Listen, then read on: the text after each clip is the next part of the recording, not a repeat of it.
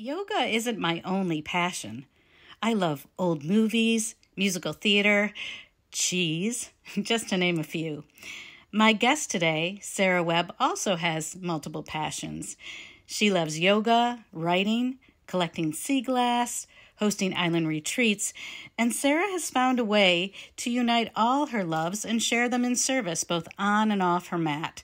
She's what I'd call a Renaissance woman.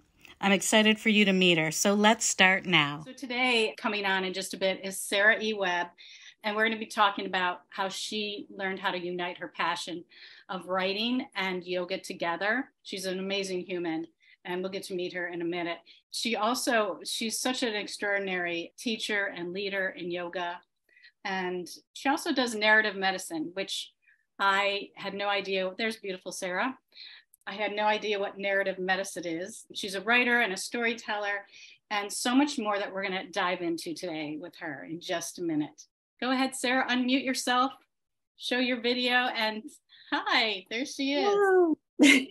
Thank you so much um, for being here, Sarah, and sharing your time and your knowledge. And I am so grateful that you're here. I admire you as a human and as a yogi, as a writer, as just a, a very insightful, knowledgeable, and sensitive woman. So thank you so much for being here.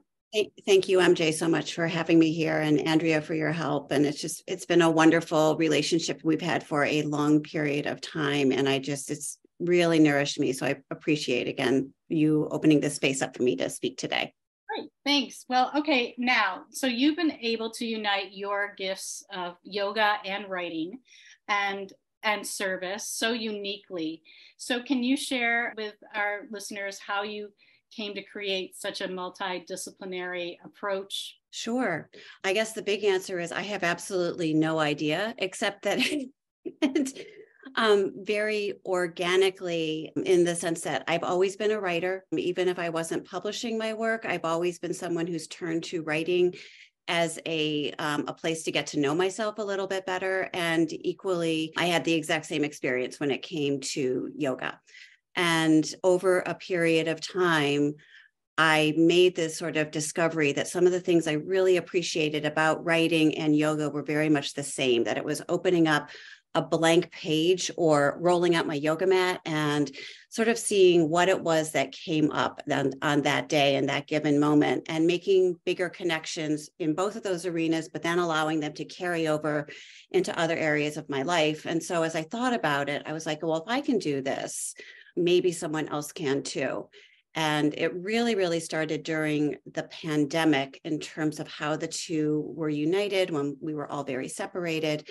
I got the idea of what would it be like to have some online writing and meditation sessions to both bring people together to share how they were feeling and to have that you, you be united over um, not necessarily our shared experiences became more shared by doing something together and then listening to one another. Yeah, it's just what you say because a lot of people hesitate from meditation because they can't turn their brain off, which no one ever can that's not the purpose. But I think uniting those two, when you're trying to still your thoughts, that's when they usually become more active. And then you have a place to put them. So I think that's a really great idea for people to really eh, cherish or or understand that thoughts are just thoughts and yeah. you can express them on paper or however you want to out loud so and also i want to talk a little bit about narrative medicine. So you are certified in narrative medicine from Columbia University. And this is very intriguing to me. I have no idea what it was. I do now because I've been, you know, researching it, but I want you to tell people what what is it? Tell us about it, please. I learned about narrative medicine a long time before I actually embarked and entered into the program. And I learned about it because I actually was sort of explaining about how it was that I like to work with people in, in yoga um, through this act of, of, sort of telling a story as you were putting um, pieces together and allowing people to get to know themselves and their, their physicality a little bit more. And someone said, you know, there's this program called narrative medicine, which might be of interest to you. And what it really is, it's a practice of considering how creativity can hold a space for listening and conversation to become sort of like this bridge to something else, which is kind of what I think you were talking about in your video, and some of us have found when we enter into the, the yoga studio.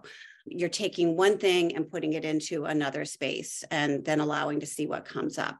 But re- what it was really intended for was to draw upon the study of art and literature to enhance a physician's listening and observational skills. I think we've all had the experience when you go into a doctor's office and they seem to be only listening for symptoms. Like they don't really want to understand who you are holistically as a person. And so the program was actually really started or the practice to help doctors learn to be better um, listeners to their patients um, and to provide better care. So doctors would come together they would read a poem that had nothing to do with medicine and then they would use that poem to them with a writing prompt to sort of see what happened and then everyone would listen to each other and you would discover we're all looking at the same thing, but it's opening up to something much larger.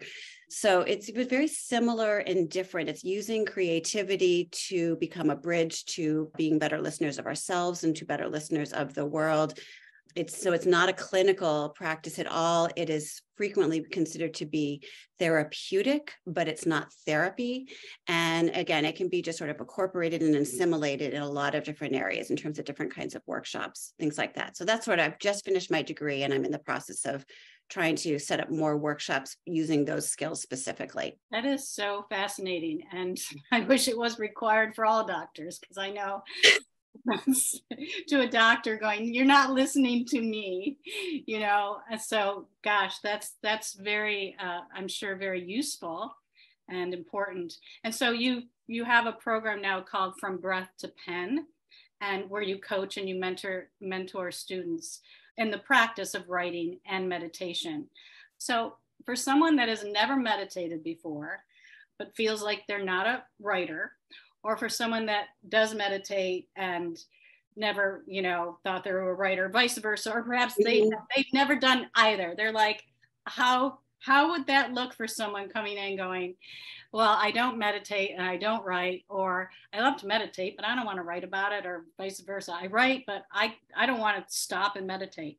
How would that look for us? Yeah i mean i think it's kind of similar to you know you hear people when they they say they want to try yoga but they're not flexible yes. Um and so they can't do it. And so it's the same it's like well fun fact you know that like, that's sort of why you're coming in to get to know yourself in a completely different way. I mean it's the acknowledgement that meditation is really hard for everyone on a good day but if you don't show up um, you don't know what will evolve. And and writing can be kind of the same way. I'm, i work with people differently on professional writing but the kind of writing that we're doing in from breath to pen is usually very personal writing it doesn't have to be shared at all. Um, a lot of it is the kind of thing uh, you hear Julia Margaret Cameron talking about morning pages, this idea of writing three pages when you wake up in the morning and it's not about sort of writing your novel or writing whatever report. It's just sort of like pouring things out what's going to come out. You might not even go back and read them at that moment or you might look at them later. It's but it's very very low stakes. It's simply the matter of showing up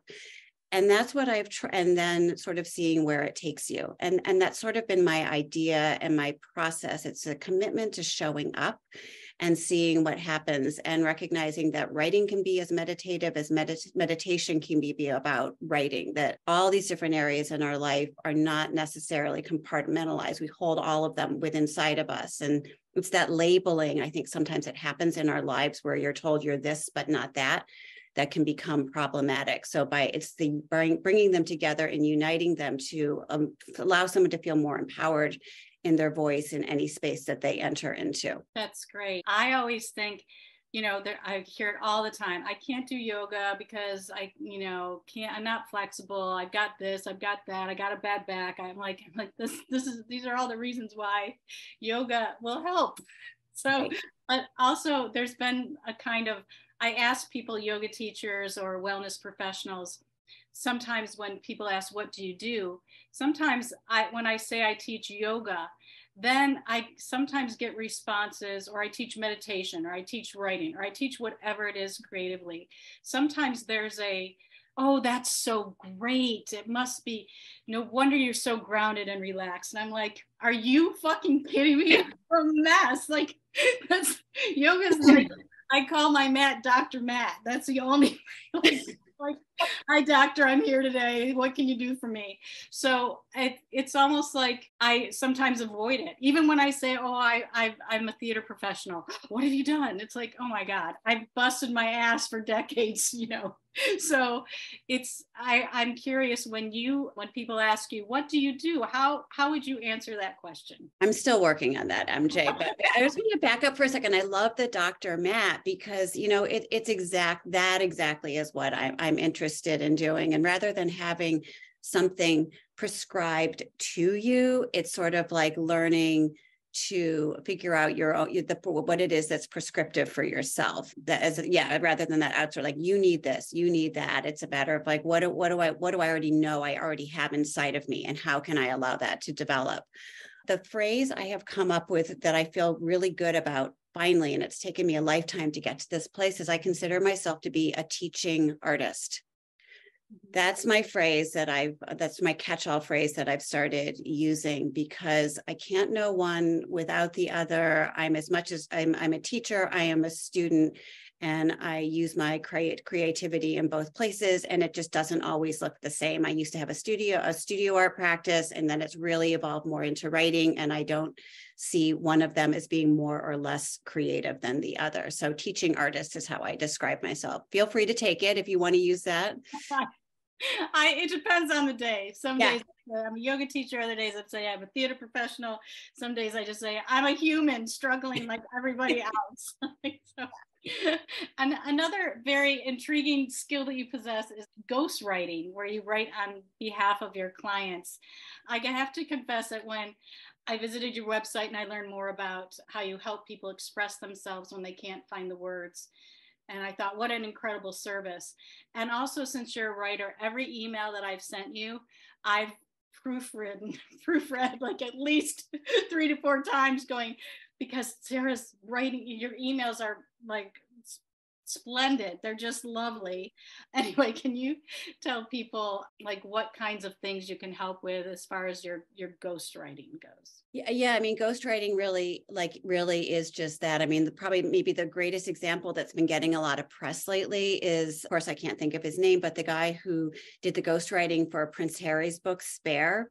There's actually been some really wonderful essays that have been written about sort of like what that process is to write with someone. But a lot of it is, you know, listening to someone about what that is that they want to say, what's really important and then how to create it in a more universal like in a, in a way that's reflective of their voice to gets the point across um, and that you know that there can be that kind of communication. The niche i have developed within this which i've been really excited about is i work with artists to help them work on their artist statements. Um, when you go to a gallery frequently there's writing next to it and so i've helped i've been working with artists pretty specifically and i actually just worked at the university of rochester all year with a large group of students to help them find the words to convey and frame their creativity so um, that's a niche area where I've been working with, but I work with people in all different ways. And some of it is way more sort of just nitty gritty professional to give them a slightly different tone in their voice on how, like their website, like how it is like, hi, I'm so and so, and this is what I do. Um, so it doesn't sound like like a well, a, when the, in the, the chatbot AI world, it doesn't sound like it was written by a robot and it invites the re- the list the reader closer. So that's sort of what ghostwriting it is. It looks different for, for different people. I've done a whole bunch of different things, but artist statements have become the niche that I've really enjoyed working on the most. And I think we are all athletes, whatever our career are. We have to be athletic in our mind, in our body, in our spirit. There's so that parallel, and that's what happens in yoga. You can parallel yoga with everything. It's so vast and it's so personal and it's not you know at this point it's not 20 year olds putting their leg behind their head it's not you know it might have been that in your 20s or 30s where you know we're all like physically able to do this but now it's like don't even ask me to stand on my head my neck is valuable so I can teach you how to do it, but don't ask me to do it. It's so important to have these conversations and to welcome it's never too late to start yoga or start meditating or start writing or, or start a risk. Like you said, just start a risk. So, and that's actually what this is too. I'm pretty fearless. If I want to, if I have an idea, I'll do it. And believe me, I have failed many, many times and will fail again and people have asked me, well, how are you so brave? I'm like, well, if I don't do it, I'll regret it. So for me now at this age, I don't want to live a regret. Time is ticking. And Sarah, I think you can relate to this a little bit about, you know, once you get in your 50s and 60s, like we are, you're like, oh my God, I got like it's it's going, it's going. So let's I gotta I gotta do what fills me, I guess is what I'm trying to say.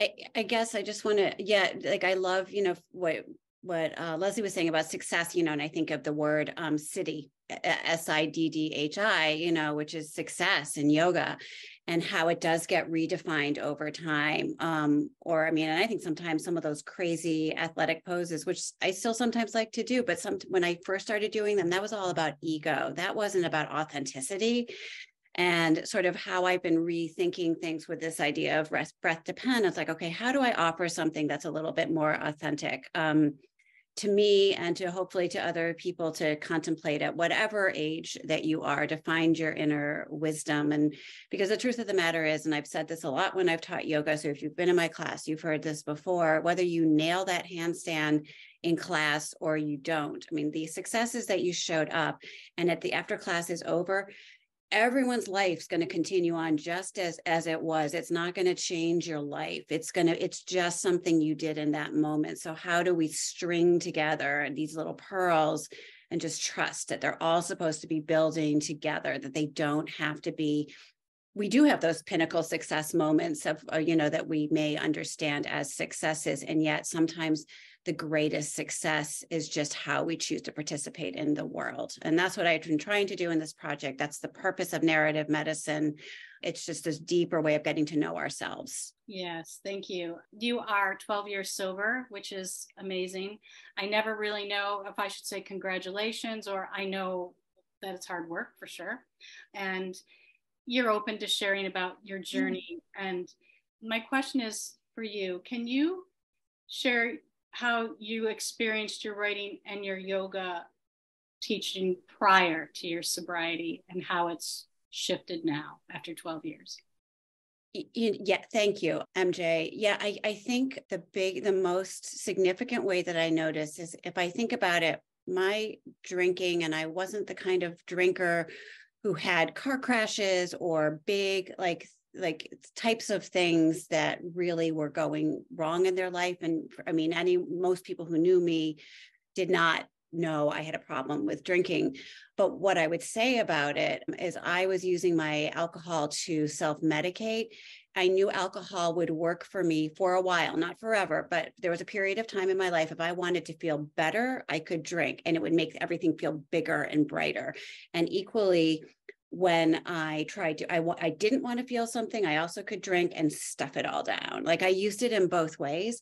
And what ultimately happened as my drinking progressed, because alcoholism is a progressive disease, I couldn't feel anything in either place. Everything was like going through the motions. And so it was just this great facade of like how things looked on the outside rather than how I felt on the inside because I couldn't feel anything. And that is how I think it really, really changed as I got sober. It first was a matter of, you know, when you go into a room and you turn a light on and it takes a while, like your for your eyes to adjust.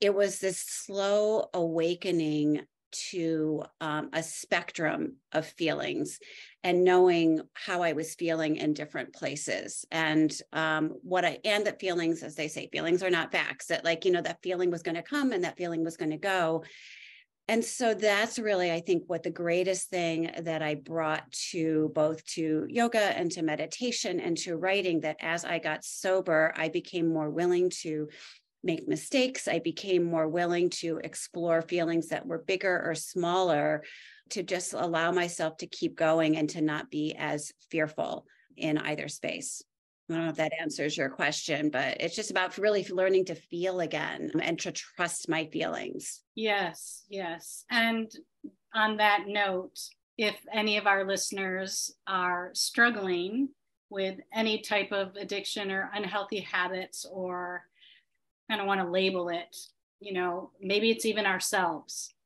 What can you tell us one or two ways we could start to incorporate more love for ourselves? I'm not sure if i'm phrasing this the yeah it really does start with it it, it does it does start with the the the love because i think a lot of our addictions come from places that we don't feel we feel less than about ourselves. Is starting to really change to flip the story to change the narrative I guess my greatest suggestion would be is because we can sit with these feelings for a long time and and for myself personally I lacked education. I thought an alcoholic was someone who lived under a bridge in New York City um, in the Bowery holding a brown paper bag. And that since I was a married married to a doctor with two children living across from Oak Hill Country Club in with a nice, very nice car um, in Pittsford, New York, that that couldn't be me.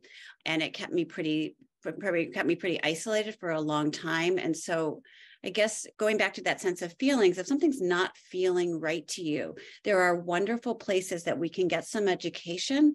And by actually starting to admit that what I was feeling, I didn't necessarily want to feel anymore, I wanted to understand the process. It allowed me to go into, for myself, I've done 12 step work. There's all different ways, but there's also 12 step work around anything related to any kind of recovery the greatest gift was community. It was that sense of knowing that I was not alone and that there was no shame in what I was doing. I felt more shame. I have no problem calling myself an alcoholic now. Before I was, when I was actively drinking, it was the most shameful thing in the world. Right now, I see it really it's it's a gift. It's turning your your scars into your into your uh, your kleshas into lakshmis it's like that sense of like turning your your your scars your wounds into your greatest gifts and learning from them. So i mean i guess that would be like it's okay to ask for help. It's okay to talk to people. There are all different kinds of programs there's all sorts of ways, particularly even online, to tap your toe into if you want to go into a meeting. But just be willing to to talk to people would be, I would say, is the great is the greatest place that one can begin because really any of these addictions begin with the fact that we have to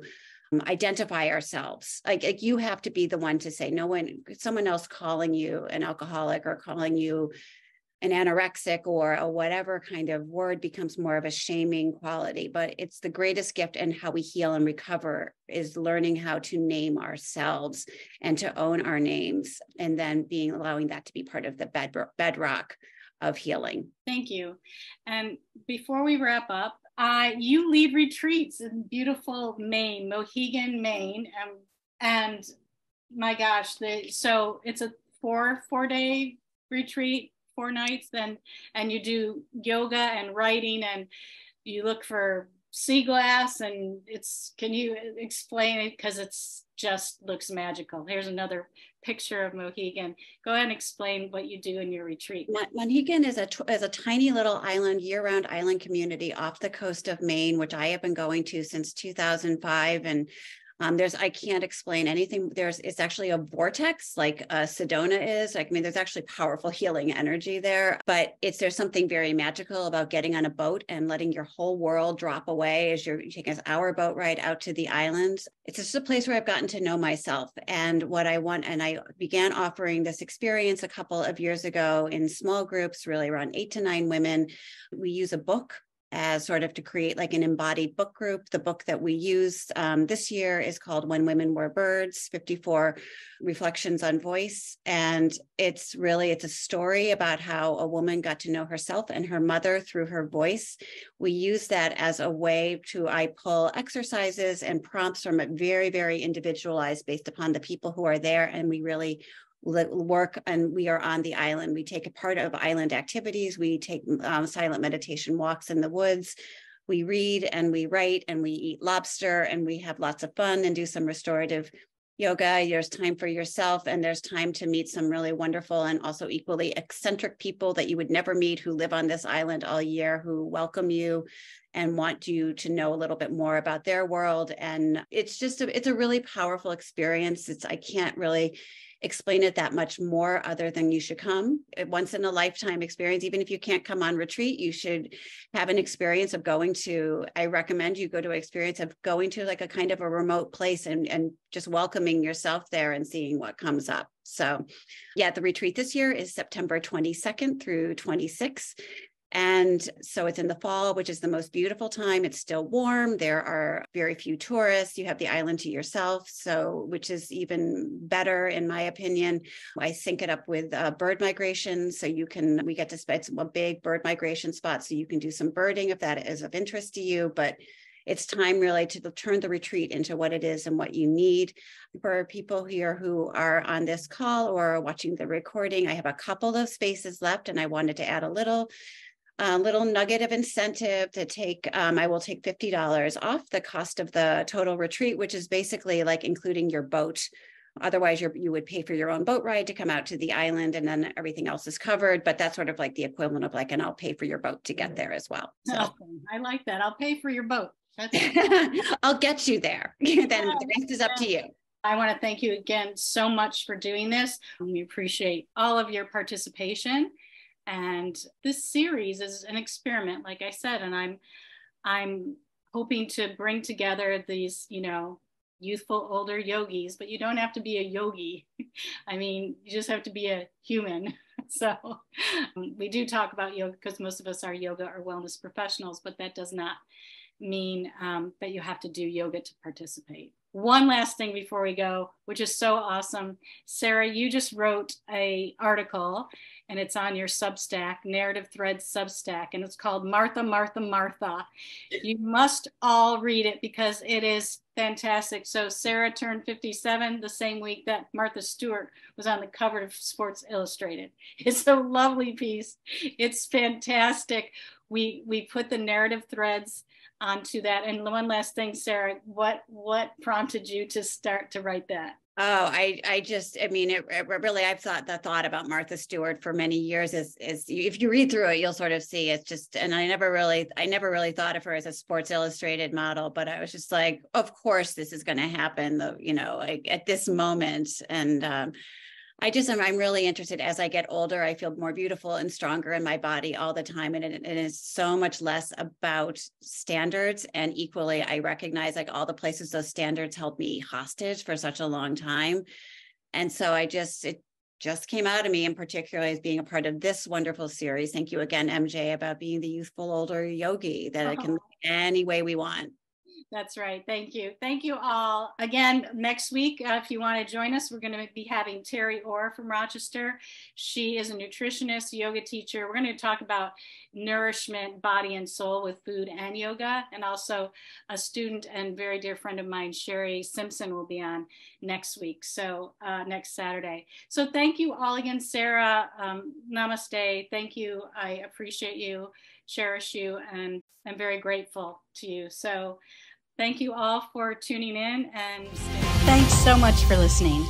You can find me and subscribe for more youthful and healthy information on my website, shareyogawithmj.offeringtree.com.